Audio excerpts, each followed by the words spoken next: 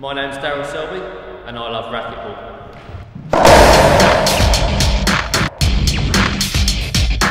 Racketball is easy to learn, easy to play and great fun for all ages and abilities.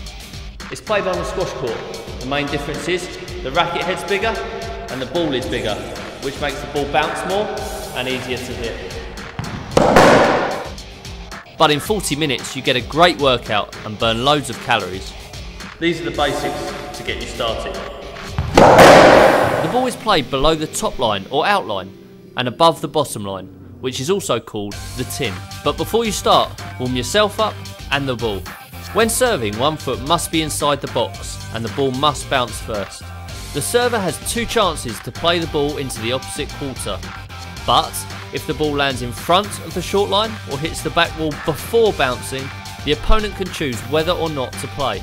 You can return the ball on the bounce or the volley, as long as it stays within the court. After every shot, try to get back to the T zone. That will give you your best position. To score a point, you either make the ball impossible to play or force an error, and remember the ball can only bounce once. Once you've played your shots, you must try to get out of the way of the ball and your opponent, so they can play their shots. Generally, if you don't, that's called a stroke, and they win the point. If you try but can't, that's a let, and play the point again. Whoever wins the point serves. Whoever scores 11 wins the game, but if it's 10 all, you must win by two clear points. It's the best of five games that wins the match. For more details, check out the website. So get out and start playing.